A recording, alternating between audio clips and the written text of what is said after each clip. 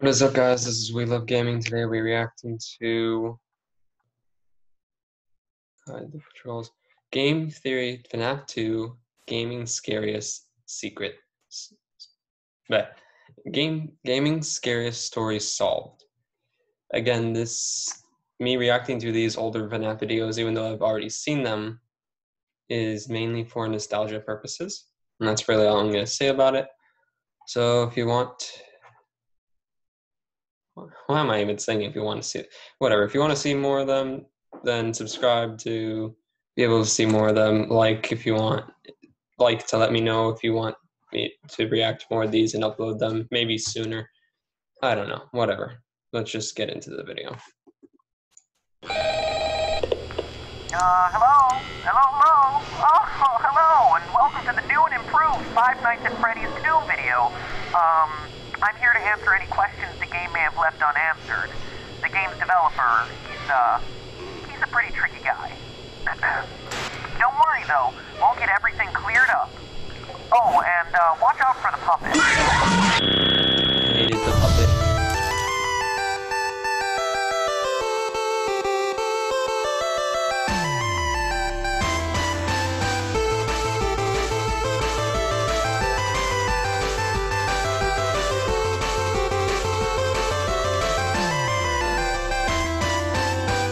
Hello, Internet! Welcome to Game Theory, the show that promises not to include any more gratuitous jump scares, unless that's just what I want you to think so I can lull you into a false sense of security and scare you again. But I wouldn't do that. I'll just let the uncertainty of whether a jump scare is going to happen or not drive you insane for the rest of this episode.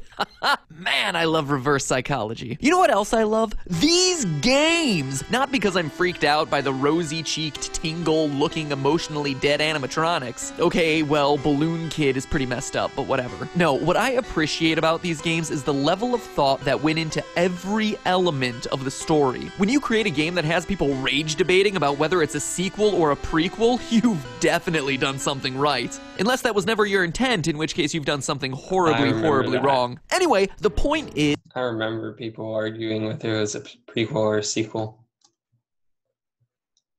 And honestly, just from looking at like the trailers, you would think it is a a sequel, is Five Nights but now we know it is a prequel. At Freddy's 2 looks to be everything you'd want in a sequel more cameras, more danger, and more fan. Oh, the fan. But that also comes. Oh, I remember that. The fan was a running gag for. Uh, I was about to say Markiplier, MatPat. Like he hated the fan. That was his thing when he, made these videos. with more questions. Questions about the game's lore. And while others will provide you with the jump scares, I provide you with what everyone really wants answers. Well, maybe not everyone. What Jeez. that is a you. That is 10, 10 mil. Yes. No. Yeah. an elite, Okay, educated subset of you really want answers. So grab yourselves a slice of Freddy Fazbear's signature pizza, cause we're about to dig in. Ugh. Tastes like Cardboard. cardboard. Let's get the big one out of the way first. Is the game a sequel or a prequel sequel? And what I mean by that is, contrary to popular belief, just because it has a big 2 slapped next to the name doesn't automatically mean the game comes after the first one in a timeline sense. It's a sequel, yes, but it tells a prequel story. Take, for instance, these all time classics Psycho 4 The Beginning, Lion King 1.5, and the actual all time classic Godfather Part 2. All of them sequels that just so happen to also be prequels. It's not hmm. mutually exclusive. So, where's Five Nights at Freddy's 2 fit in? Knowing its place in the timeline is crucial for understanding its story. Well, to figure that out, let's focus on the paycheck you receive at the end of your fifth night. The date places the events of the game in 1987, a whole six years ahead of when we determined the first game took place in our first video. Sounds like a prequel, but we found that date in the first game by calculating Mike Schmidt's hourly pay and comparing that to the minimum wage of the 90s. If Scott Cawthon, the game's developer is just picking random numbers for the payments, this bit of evidence would be meaningless. Except that he's not. At the end of Five Nights 2, you get paid $100.50. Divide that by the 30 hours worked, and you get $3.35 an hour, the exact minimum wage for 1987. Which means that us using minimum wage calculations to identify the year of Five Nights 1 is a perfectly valid way to prove it, and shows that it takes place after the events of Five Nights 2. Still don't believe me? Players brave enough to survive the extra night 6 are rewarded with a bonus check No. and a newspaper clipping that says the toy robots are getting scrapped, and that the old ones are going into storage for a new, smaller scale version of the restaurant. That would explain why the old models reappear in Five Nights 1 and the toy models don't. And notice how it mentions a smaller version of the restaurant. The building in Five Nights 1 is significantly smaller than the setting of Five Nights 2. Yeah. Need more like I don't understand like the construction like this choices, the design choices of the building. Because you have the main party room here. You not not party room, but you have the main room here. Again, there's no door front door camera, so we can only assume that it's like right here, with this being the stage, this being the main party room, and or opening area. This being the prize corner, and then this hallway leads to the bathrooms, the parts and service, and then four party rooms, two of which have a ventilation shaft that leads to the security room at the end of the hall. Also, why wouldn't wouldn't you why would you make it so that a security room would be visible to everyone? Why? Doesn't make sense, but whatever. evidence? What about Look at me talking talking about something that came out five like what five years ago? No, not five years ago. Uh, huh, let me see. When did this video come out? About five years ago. Yeah, five years ago. What about the fact that on the first night in the office, the phone guy explains that the robots used to walk around during the day just like they do in Five Nights 2, but not anymore? Or the fact that phone guy dies in the first game, making it hard for him to also be the phone guy in Five Nights at Freddy's 2 if it takes place after. Call me the Phantom Menace, cause every way to Sunday, this game is a prequel. So with that revelation out of the way, we're able to piece together the rest of the timeline and dig a little bit Okay, I'm gonna comment a lot on these videos now that the I got the first one done because the first one kind of made me feel sad when they, they talked about the real life string of murders. But I love how MatPat thinks like he says this. prequel. So with that revelation out of the way, we're able to piece together the rest of the timeline Piece together the rest of the timeline. The rest of it. He's nowhere close. He's not even close at the very end of his videos so far that he's made for it. Like this is one percent. Let's say this. Let's let's say this is one percent, and he's saying he's almost done. We had no idea what kind of rabbit hole we were going down. And then dig a little game. bit deeper. Posters everywhere in Five Nights 2 welcome you to this new location, implying that there was another Freddy Fazbear's Pizza somewhere before this one. And Additionally, the one phone guy makes reference to it on night 1, mentioning the old location and how it was left to rot. And before that was Fredbear's Family So we know that there was one Freddy Fazbear's Pizza for the first game, one for the second game, and one that came before both of them that we've never seen. But even before that, the phone guy also mentions an even older restaurant called Fredbear's Family Diner, which, aside from its confusingly different name, also had different owners. So let me recap. There's the restaurant from the first game, which is the last in the timeline. The one that you're currently working at in 1987 in Five Nights 2, an older location of Freddy Fazbear's Pizzeria left to rot, and the original Fredbear's Diner. Jeez, I hope you're still with me because this is more complicated than the Zelda timeline. Are you sure about that?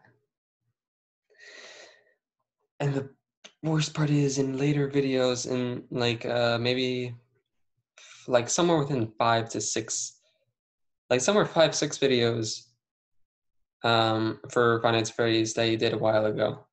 that he's been making, if you count backwards from now, he talks about how we knew that there was another location and this was being that location.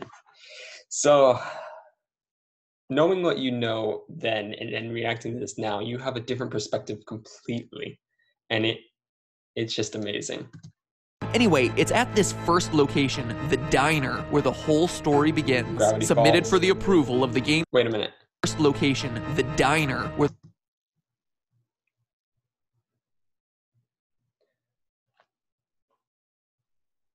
How did I how did I not notice that's Gravity Falls?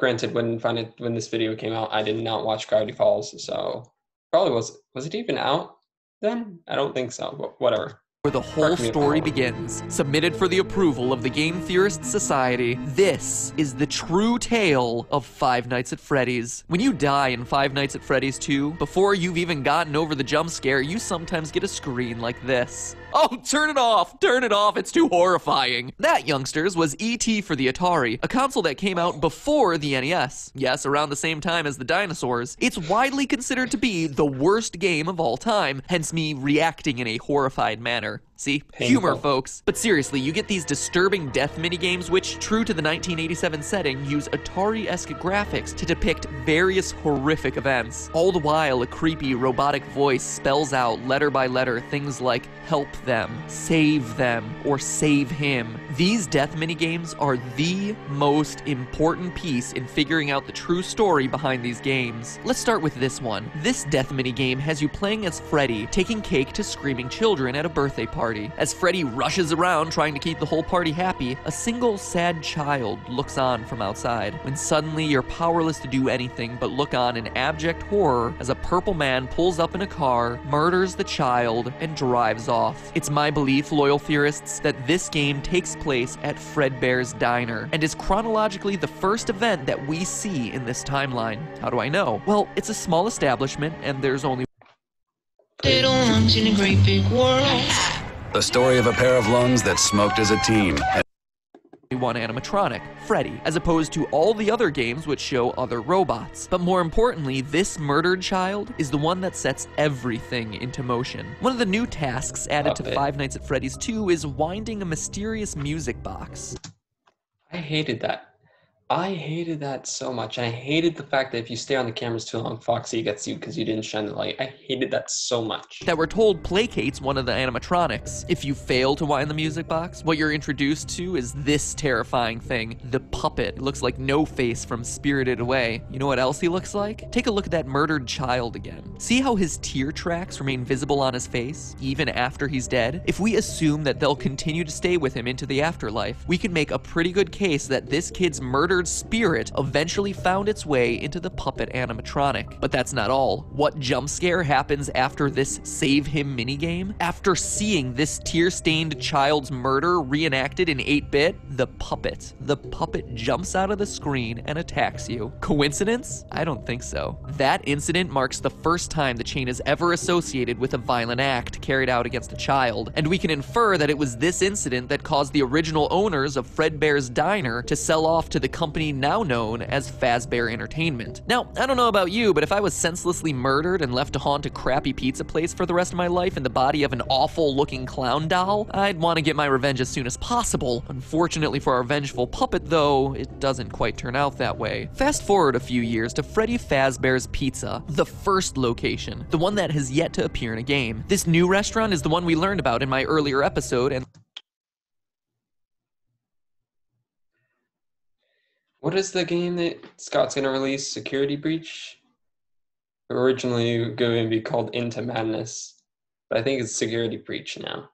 That's what MatPat thinks this is going to be, which maybe. and throughout the first game, where our pal the murderer uses a golden Freddy suit to lure away and kill five children in the back room. As we read through the various articles on the wall, he gets caught the next day, but the bodies are never found, presumably because they've been stuffed into the animatronic suits. The restaurant stays open for a few months until the dead body stink starts to waft off the robots and causes the place to get shut down for health reasons. But how do we know this happened in the first pizzeria's location? Again, we turn to what the phone guy says. On night 2 of Five Nights 2, he mentions the smell coming from the old animatronics, the smell that got the original restaurant shut down. We also know that after the Golden Freddy incident, it took multiple months for the restaurant to get shut down. That couldn't have happened in the restaurant of Five Nights at Freddy's 2, which is shut down on night 6 and into the foreseeable future. But outside of these lore clues, it also makes logical sense. Before the Golden Freddy murders, there was one dead child whose tear stained soul existed in the form of the puppet. But now there are five more dead children, and thanks to another of the death minigames, we find out exactly what happened to them. In the Help Them minigame, the puppet stuffs the dead children into the robotic suits, giving their souls new life, and preps them for their eternal mission of vengeance. But but MatPat, you say through your chattering teeth, there are only four dead children in that game. Three, To which I tell you, look closer if you dare. For the, the frame right before Like Golden frame. Freddy's head jumps out and attacks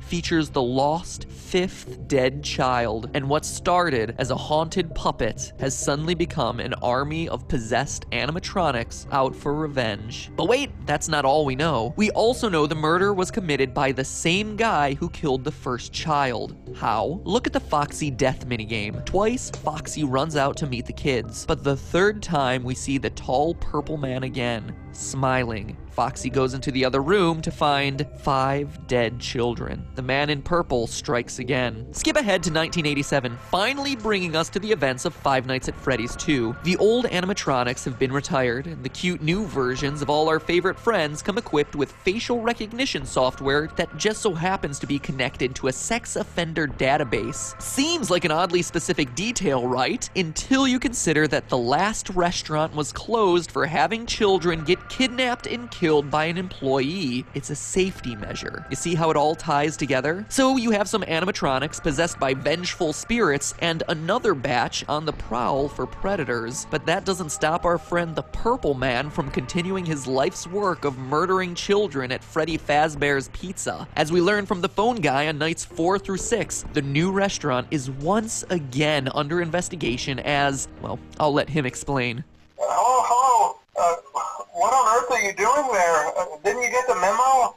Uh, the place is closed. Wait a minute, aren't these supposed to be recorded? Like these are in the third game we find out that he recorded them. So are are these supposed to be recorded or not? I would assume this wasn't recorded because it's a prequel, but that's uh, whatever. closed down, at least for a while. Someone used one of the suits. We had a spare in the back, a yellow one. Someone used it. Springtrap. Now none of them are acting right. The Golden Freddy Killer struck again. The final death minigame also supports this. You, as Freddy, must walk through an exact replica of the building, animatronics all in their proper places, seeing the five dead children spread out through the various rooms. And based on what Phone Guy says, it seems like the guilty party was the former night guard, the one who moved to day shift and the one your character replaced. I mean, Phone hmm. Guy makes plenty of uncomfortable references to suddenly having an available position during the day. Um, when we get it all sorted out, we may move you to the day shift. A position just became available. Uh, we don't have a replacement for your shift yet, but we're working on it. But is the Purple Man really someone we've never met and who's only worked there a week? Or is it someone we trust? Someone with a long history with these characters? Someone no one would suspect? The head guard. The one forced to fill empty positions and teach new recruits by leaving them instructions over the phone. Is the Purple Man the phone guy? Ask yourself this What do we really know about Phone Guy? Let's look at what he says. First, he always speaks like an outsider looking in. He refers to the management of the company as they. So he's not a higher up like the CEO or even a manager. But he's also not a typical day worker as he says things like the employees and the staff. So he works there, but isn't generally considered a regular member of the company. We also know that he's qualified to take the role of a night guard. As we learn, he plans to take over the position sometime after night 6 and is on his way out of the position by the time the first game starts. For now, just make it through the night. Uh, when the place eventually opens again, I'll probably take a night shift myself. Um, I actually worked in that office before you. I'm finishing up my last week now, as a matter of fact. What else do we know? Well, we know that Phone Guy has a long history with the company, being with it at least since the first pizzeria that we haven't played in. He also openly admits that Foxy the Pirate was always his favorite, and that he has never liked the puppet because, as he says, it was always thinking. See, I told you you wouldn't have any problems. Did uh, Foxy ever appear in the hallway? Probably not. I was just curious. Like I said, he was always my favorite. I'll be honest, I never liked that puppet thing. It's always thinking, and it can go anywhere. Okay, but what do we know about the purple guy, the gold? Then that's a terrible design flaw for it to go anywhere. like honestly, why would you allow it to go anywhere?